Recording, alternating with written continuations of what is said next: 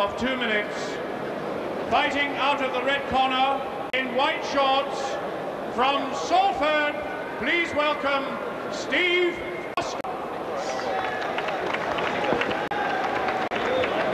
And fighting out of the blue corner, one of the most promising young boxers to emerge in recent years. He's only 17 years old.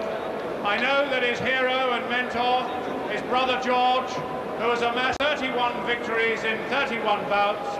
Please welcome, in purple shorts, from Camberley, inside Collins! At the weigh-in today, Foster Stone, 7 pounds, Collins scaled 11 stone, two and a half pounds. Your referee, Jack Snipe, your timekeeper, Tommy Rice.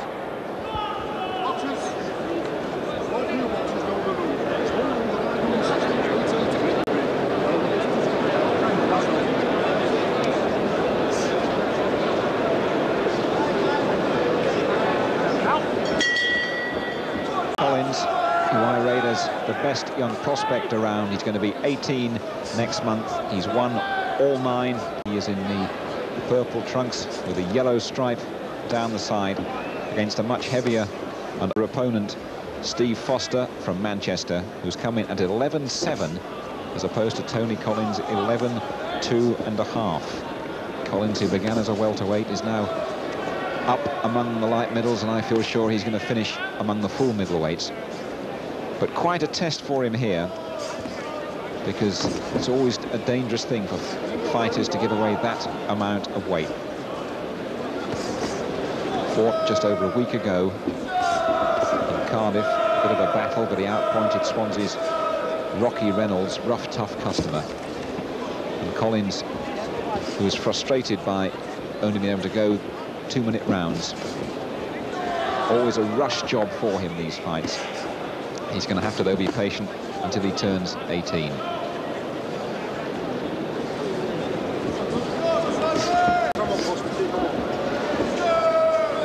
It is a problem for him, Jim Watt, that all his fights are really a sprint. Hasn't got time to build tactics and things like that.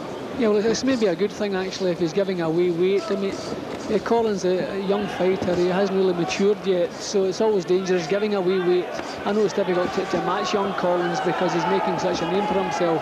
So maybe the shorter rounds will actually suit him at this stage in his career. But the last thing I want to see is him worn out.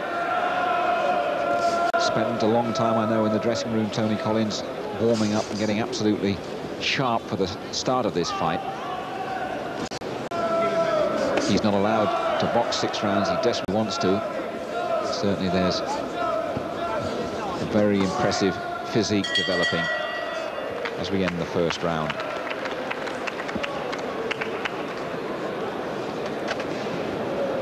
Eighteen years next month. Six inside the distance. Unbeaten, of course, and looking to equal the great record of his elder brother George. This is Stevie Foster. Turned pro back in, in 1981, had three fights and then gave up the game to build up his own building business, a bricklayer originally, but he's come back and is a tough fighter, really. Much heavier, 27 years of age.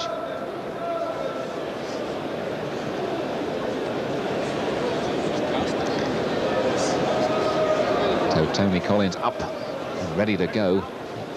He's a fellow who really seems to enjoy every second of every fight. I know Jim Watt Barry McGuigan has already said that Tony Collins has all the pedigree to be our next world champion. You might not have seen all that much. Agree with that? Well, well, I've seen him box a couple of times, and I wouldn't like to put the strain on him, uh, start talking about world titles already he certainly has all the talent. Uh, I prefer to wait until I see uh, a fellow tested before I make my mind up about him, but I've seen nothing wrong with him so far. He's very sharp, very fast, and he seems to have a fair bit of punching power. Although at, at this stage in his career, he's moving up the weights. We'll see if he can take his punching power with him.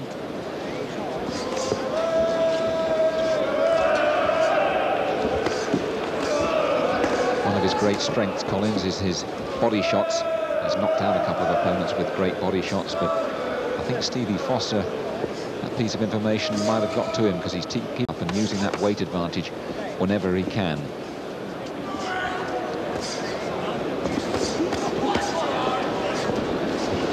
And I might be wrong here, Jim, but I get the impression that it could be a little bit of a tricky one for Collins to get through to this man tonight.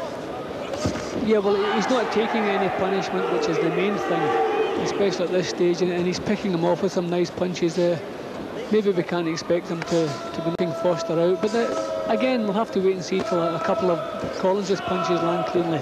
But it's a good test for him, and he's being careful. He's now and again little traces of flashness come through, being very careful, and he's boxing quite a nice little fight. I think he's aware of that. I know his cornermen are. They very keen for him to maintain this terrific appeal that he's got, but cut out some of the, the flashiness as well. And this is no easy for him.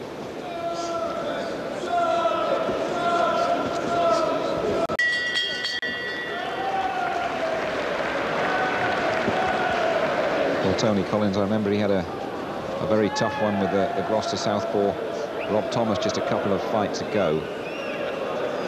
He is moving up steadily, started at 10 stone 6 and now two and a half. And I know that Thomas said, he, well, he felt he was in with a baby and was going to take care of him. But Tony Collins is developed so quickly that he's anything but a baby at this game.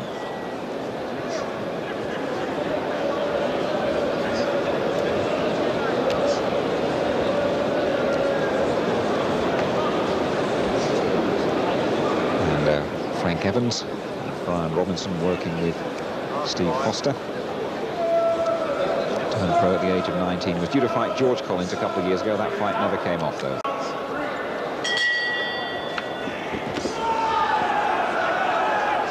Just two-minute rounds, these.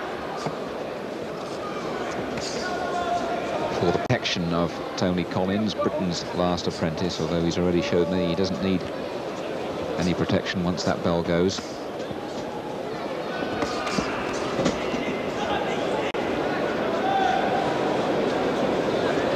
Professional for just under a year, so every fight is essentially a, a learning process for him. He'll just pick up more, and I think here he's got to learn how to handle a potentially dangerous opponent, and we can't stress often enough how important that extra weight could be if Collins gets involved.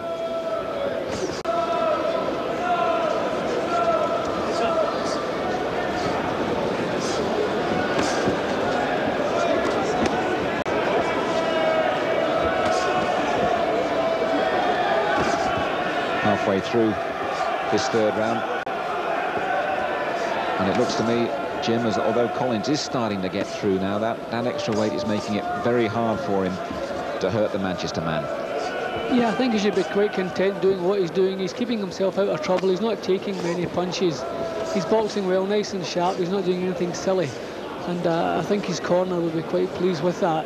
If he sees the chance, I'm sure he'll come in with the, the big heavy punches. But if there's pretty experienced, and he's not easy to get at.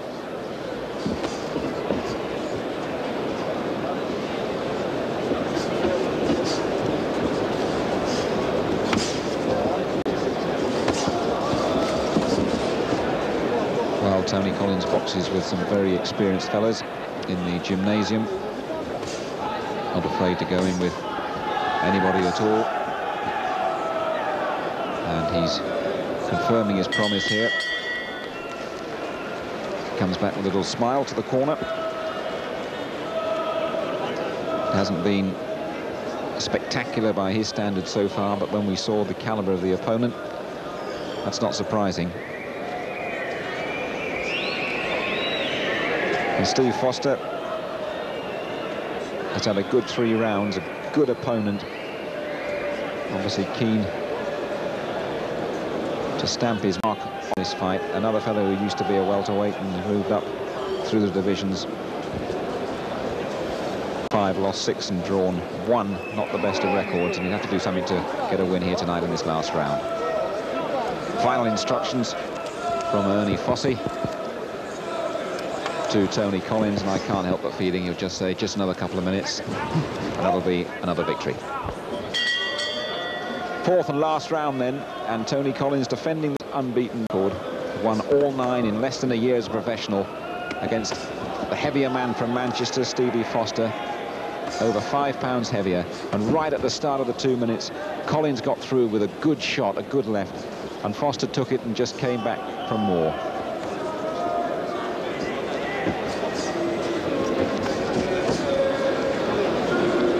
Jim Watt, just to sum it up for us, Tony Collins, a, a lot of a lot of promise there.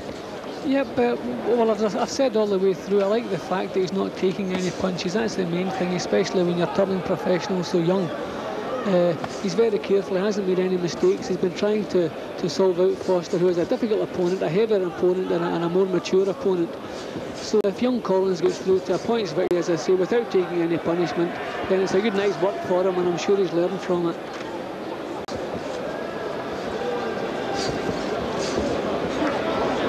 know Tony Collins is an excellent trainer and all he wants to do is fight, but at this stage of the career he's almost got to be held back, got to be brought along steadily. A lot of time in front of him.